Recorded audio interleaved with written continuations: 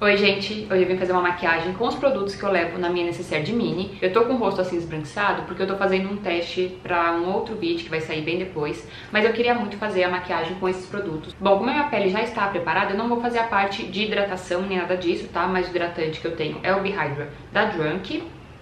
Aí eu também não vou mostrar o cleansing oil, né? nem o meu olhinho. E o restante acho que dá tudo certo aqui. Eu vou começar hidratando meus lábios com o balm de Botê, que aí a gente já deixa hidratado até o final da maquiagem. Ai, isso daqui, gente, é maravilhoso. Eles lançaram agora um rosé, que é um rosa mais antigo, assim, bem bonito. Aquele rosa eu gostaria, então esse daqui é o sem cor. Bom, então, pra começar, a gente vai usar a base de Givenchy. Esse daqui, né, é a minizinha que eu falei pra vocês. E a cor que eu tenho aqui é a N250, que é um pouco mais escura do que a que eu tenho full size que provavelmente é o meu tom certo. E aí pra pincel eu vou usar esse daqui, que é o do Dino de Sticks, que uns três pumps é o suficiente, porque essa base ela é um pouquinho mais densa, tá vendo?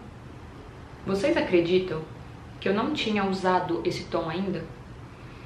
Eu tinha deixado separada para quando eu precisasse montar uma necessaire, e aí eu acabei não usando.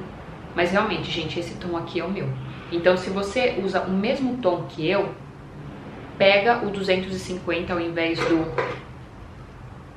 120, que a minha full size é a 120, só que ela tá levemente mais clara. Eu consigo usar, né, usando bronzer depois, mas o meu tom mesmo é esse 250. Eu gosto muito dessa base. Eu já falei no meu vídeo de maquiagem pra foto, que é a base que eu gosto de usar. Porque eu acho que ela fica bonita, fica um glow na medida então fica uma pele bem natural. E esse pincel da Nude Sticks, ele é muito bom porque ele parece pequeno, assim, o tamanho dele é pequeno, mas as cerdas, elas são grandes. Por exemplo, esse aqui da Care tem praticamente o mesmo tamanho desse daqui, tá vendo? Que é um pincel para base, é um pincel para para blush, para bronzer. Então, apesar dele ter um tamanho um pouquinho mais reduzido, as cerdas em si, elas são do tamanho de um pincel normal tá? E essa base, ela tem uma cobertura leve a média, você pode construir camadas, mas como eu vou fazer ainda blush, bronzer, eu vou aplicar o corretivo no final e ver onde realmente eu preciso. Uma coisa que não está na minha necessaire porque não cabe é uma toalhinha. Eu amo ter toalhinha do lado, principalmente se eu vou usar o mesmo pincel. Então, eu tiraria o excesso na toalhinha. Mas, por exemplo, se eu tiver em alguma viagem, eu posso pegar o papel higiênico do banheiro e tirar o excesso. Agora, se eu tiver, por exemplo, no carro, eu sempre tenho na minha bolsa aquele pacote de lencinho, então é sempre bom ter a mão. Tirando o excesso, eu consigo usar esse lado para aplicar o bronzer e o blush. Na sobrancelha, o meu gelzinho da Karen. Eu já tô com ele, tá? Porque eu acabei usando no meu outro vídeo. Mas eu vou reaplicar só pra vocês verem que esse gel você pode aplicar camada. Que assim, ele não começa a esfarelar e nem acumular. Esse gel de sobrancelha, gente, é o produto que eu mais indico, assim como o Caviar Stick da Laura, porque esse daqui eu acho que eu tô no meu quarto ou quinto já. Como a minha sobrancelha já estava com gel, eu acabei não usando a minha escovinha pra pentear, porque eu gosto de pentear primeiro a sobrancelha antes de aplicar o gel. Porque aí eu já deixo ela na forma e se tiver às vezes também alguma sujeira, algum excesso de base, eu consigo tirar o excesso antes de aplicar o gel. Porque que acontece? Quando você tá com um pouquinho de base ou um pouquinho de corretivo ou pó na sobrancelha e você aplica o gel, vira tudo uma bagunça. Então sempre tira o excesso e depois você vem com o gel, tá? Bom, eu vou fazer a minha pele primeiro, porque às vezes eu gosto de levar o bronzer, o blush pros olhos e aí depois eu aplico a minha sombra, tá? O bronzer que eu tenho aqui é o de Oceane. Eu sempre esqueço que ele tem que girar, eu às vezes vou puxando o que é muito bom de girar, porque aí não solta. Esse daqui é o Light, tá? Que é o mais claro. Eu vou aplicar direto no rosto pra sujar o mínimo da minha mão possível Porque se eu estiver no carro, tudo bem que eu posso ir tirando com o lencinho, né? Eu vou tentar ser o mais prática possível aqui. Na minha mão eu apliquei a base, mas eu poderia aplicar ela diretamente aqui. Só que realmente base eu prefiro aplicar aqui e espalhar no rosto, porque aqui eu acho que absorve muito produto, tá? Mas aí, como eu falei, sempre tenha um lencinho na bolsa. Aí, com o mesmo pincel, eu vou espalhar esse bronzer e eu uso geralmente o bronzer no tom médium, tá? Mas como o médium é o que eu uso geralmente, eu preferi deixar ele na minha penteadeira e levar o light na necessaire. Mas ele, ó, funciona super bem também, tá vendo? Motivo também, gente, a base que eu tenho aqui, ela é exatamente do meu tom. A base que eu geralmente uso, que é ou a da MAC ou essa da Givenchy, ela tá um pouquinho mais clara, então eu acabo deixando ela um pouquinho mais escura com o bronzer médio. Só que se a base está exatamente do meu tom, eu uso o bronzer um pouquinho mais claro, porque aí combina. Acho que deu pra entender, né? Base clara, bronzer médio, base do meu tom, um bronzer um pouquinho mais claro. Aqui eu posso usar esse lado menorzinho também, né? Eu não costumo usar bronzer aqui, mas com esse lado do pincel pequenininho daria pra trazer e contornar o nariz, tá? Aí eu vou direto com o meu iluminador. Eu gosto de aplicar iluminador com os dedos. Esse daqui é o bronze e só tem essa cor no iluminador da Oceane. Eu aplico com um dedo e espalho com o outro. Dá pra aplicar também com o pincel, mas não sei porque iluminador eu prefiro aplicar com os dedos. Aí já posso vir com ele bem aqui no cantinho, só pra dar uma iluminada. De blush eu tenho também aqui um da Oceane, que é o Pink. Gente, cada produto eu aplico de uma forma. O blush eu prefiro aplicar assim, porque eu acho que eu consigo controlar mais. E aí você que escolhe se você quer aplicar só aqui, se você quer pegar e aplicar mais aqui. Eu gosto de aplicar sempre aqui no centro e também trazer um pouco pra têmpora. Eu sei que muita gente gosta, né, do efeito mais lifting, de deixar tudo mais pra cá, só que eu não gosto tanto de deixar o meu rosto esticado. Eu gosto dele um pouquinho mais arredondadinho, então eu gosto de aplicar aqui na minha maçã. Aí dá pra passar um pouquinho só nos olhos. Não vai fazer tanta diferença, mas eu gosto sempre de trazer que aí eu vou conseguindo ver a maquiagem se formando, sabe? Bom, aí nos olhos eu vou usar o lápis da Care, esse daqui é o Mocha, que é um marrom que eu amo, gente. Eu acabei de apontar ele com o apontador da Nudistix, né, que eu falei pra vocês que funciona um no outro.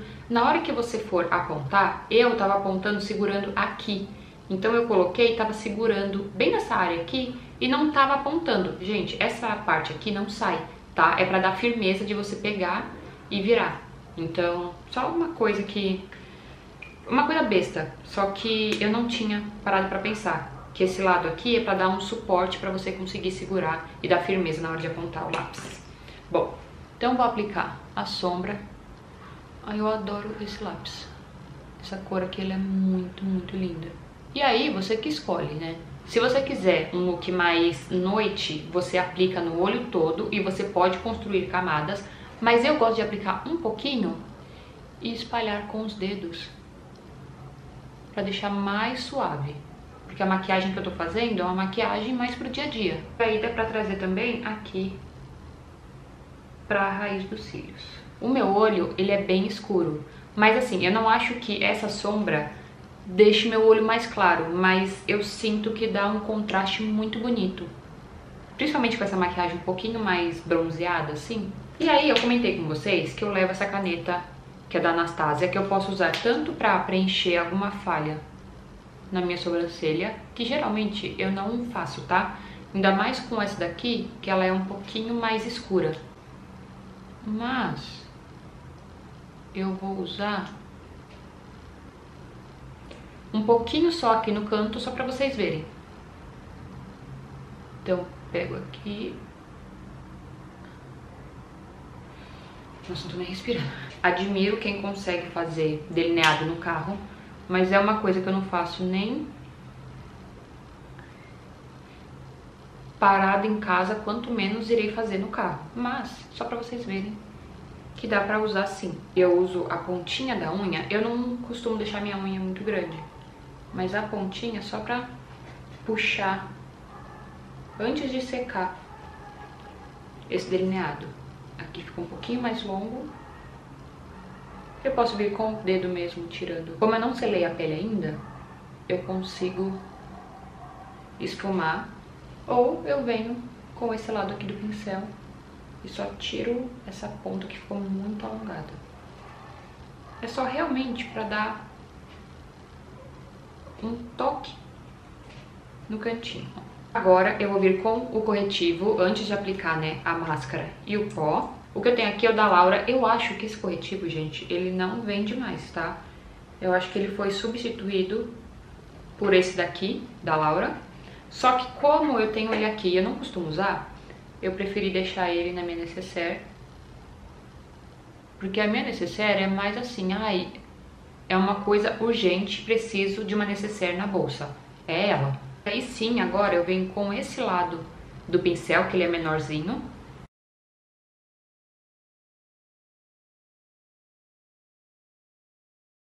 Bom, aí vamos pro pó mini da Oceane. Esse daqui, gente, eu levo na necessaire, mas quando eu vou levar na minha bolsa mesmo, eu levo esse da Cossas, que ele é um pó compacto, e aí se eu preciso retocar pó, eu uso esse, tá? Mas na necessaire, que eu preciso montar realmente uma maquiagem e preciso que os produtos sejam menores, eu levo esse daqui da Oceania. E o legal dele é que ele tem esses três pontinhos aqui bem pequenininhos, tá vendo? Que é por onde sai o pó. Então você não vai abrir o pó e vai ter pó voando pra todo lado. Então você tem que bater bastante pra sair. Então eu tenho aqui e o pincel que eu levo é esse daqui, que é do kit de mini de Real Techniques. Aí eu pego aqui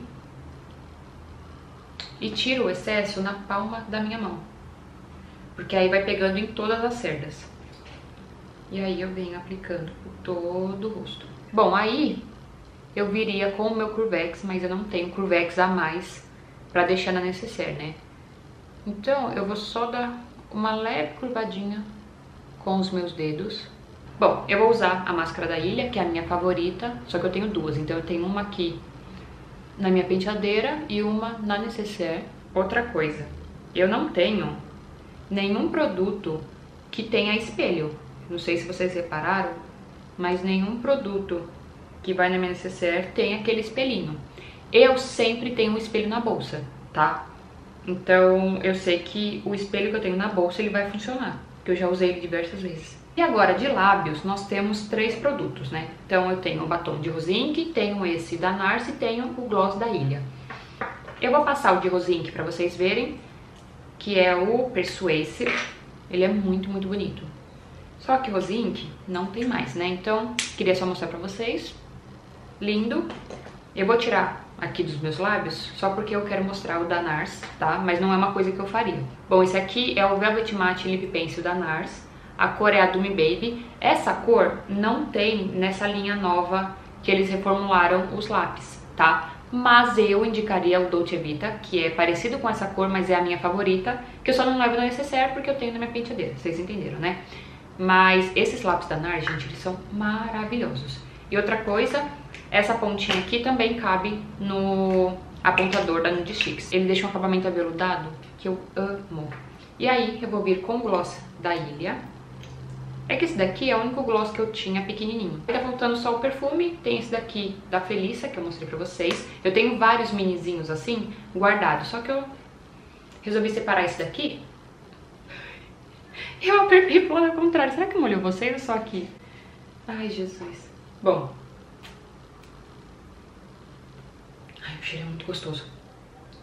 Nossa senhora, é muito gostoso. Esses minizinhos eu não costumo usar no meu dia a dia. Eu deixo sempre separado pra levar na bolsa e tal.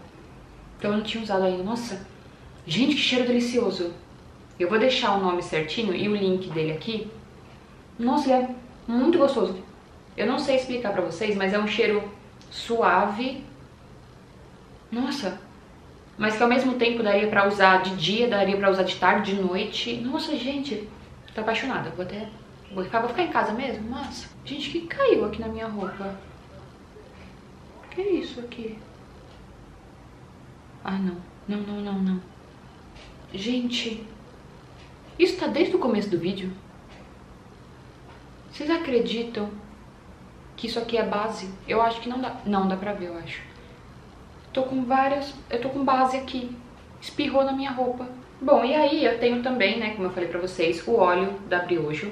Eu vou aproveitar e passar ele um pouquinho no meu cabelo pra ver se ajuda nesse frizz. Então, ó, coloquei um pouquinho do óleo aqui. Ele é bem fluido.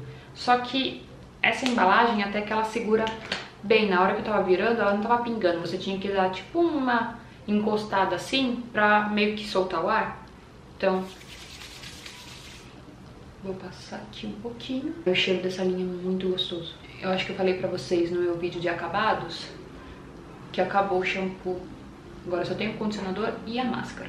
Bom, e agora, para eu poder guardar os pincéis limpinhos, eu vou usar o líquido daquelas Vogue, porque aí eu só borrifo neles, tiro aqui na minha toalhinha o excesso e eles estão limpinhos para serem guardados e reutilizados uma outra vez. Aí ah, eu limpei também o meu apontador, tá? Então o que eu fiz? Eu peguei um cotonete, um lenço demaquilante. Eu não uso lenço demaquilante no meu rosto, mas eu uso para limpar maquiagem, para limpar swatch. Então eu pego assim, aí eu tento tirar o máximo do excesso, pego o cotonete, coloco assim e vou limpando aos pouquinhos. Porque senão vai acumulando sujeira, depois você não consegue tirar e isso também prejudica na hora de você usar novamente para apontar alguma coisa. Então, limpei tudo bonitinho, agora já posso guardar todas as minhas coisas. A lista de todos os produtos vai estar na descrição. Se vocês acham que está faltando alguma coisa na minha necessária ou então que vocês levam na sua que é essencial, me deixem aqui embaixo também. Se vocês gostaram, me deixem um joinha, se inscrevam no canal e a gente se vê no próximo beijo. Tchau!